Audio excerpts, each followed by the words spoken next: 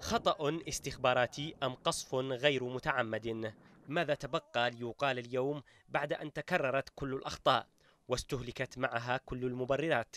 وأصبح الحديث عن تحقيق الأهداف العسكرية التي جاء من أجلها التحالف لإعادة الشرعية مجرد تصريحات صحفية أما الواقع فيقول خلاف ذلك. في جديد أحداث نهم سقط قتلى وجرحى من قوات الجيش الوطني جراء غارات على مواقعهم في جبل المنارة. وبحسب المصادر الميدانية فإن الغارات حدثت بعد ساعات من استعادة القوات الحكومية السيطرة على مواقع كانت في قبضة ميليشيا الحوثي. المتحدث باسم المنطقة العسكرية السابعة عبد الله الشندقي نفى أن يكون طيران التحالف العربي قد قصف مواقع الجيش وقال أن قتلى وجرحى من الجيش سقطوا خلال المعارك مع الميليشيا.